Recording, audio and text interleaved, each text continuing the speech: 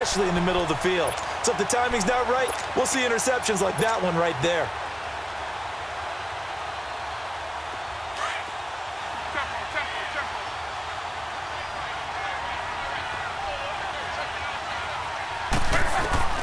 After the interception, it's Love being chased out left.